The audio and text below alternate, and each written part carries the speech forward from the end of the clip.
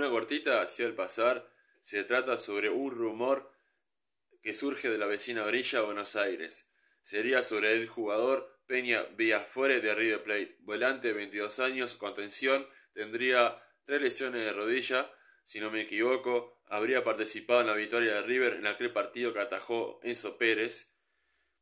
Tras su paso en Arsenal de Sarandía a préstamo, River lo pretende volver a dar a préstamo y en esta, en esta vuelta sería aparentemente ofrecido a Peñarol.